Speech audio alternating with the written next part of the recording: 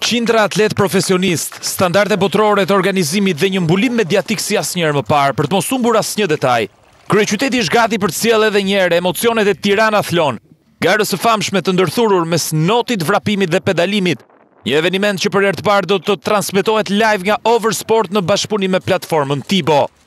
Për të dytin vit me radhë, Bashkia e Tiranës do të mundësojë garën e triathlonit, e cila në ndryshim nga edicioni i kaluar do të ketë parametrat e certifikuar të triathlonit olimpik.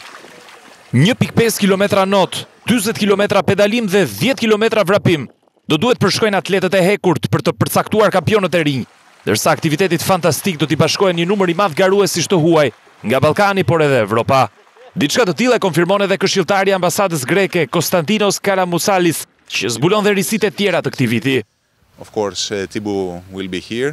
Sot jemi këtu për të bërë testet zyrtare. Siç ju e dini, në këtë vit ne inaugurojmë distancën olimpike dhe këtu janë një pjesë e vogël e pjesëmarrësve, të cilët do të provojnë distancat e reja.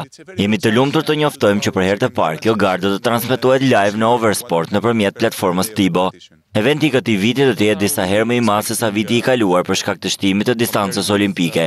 Kemi aktualisht një numër të madh regjistrimesh. Duket se edicioni i parë i ka pëlqyer atletëve nga e gjithë bota. Më shumë se pesëdhjetë për qind e regjistrimeve janë nga atletë të huaj, nga Mali i Zi, Maqedonia e Veriut, Greqia, Italia, Austria dhe të tjerë vende.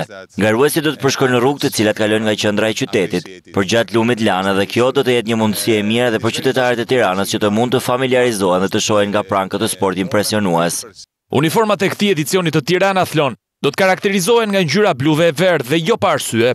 Ambasadorja greke në Shqipëri, Sofia Filipidhu, Tregoi për Oversport dhe Tibo sensibilizimin e Tiranës me Ukrainën në luftën kundër Rusisë dhe mesazhin e paqes që kjo garë kërkon të përçojë.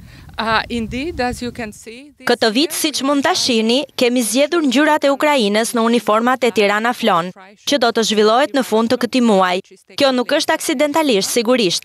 Kjo është një mënyrë, sipas nesh, për t'u solidarizuar me Ukrainën dhe ndërsa sporti është një prej hapësirave më të shkëlqyera për të promovuar paqen, ky është mesazhi që ne kemi dëshirë të japim.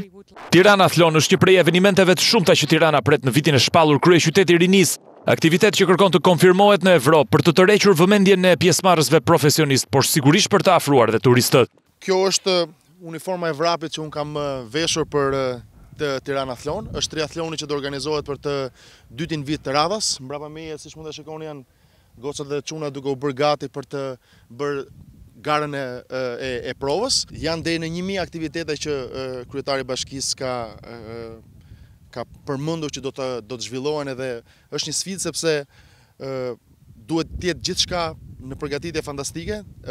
Shto faktin që maratona ose triathloni do të vi 4 ditë pas Conference League-ut që do të mbahet në, në, në Tiran.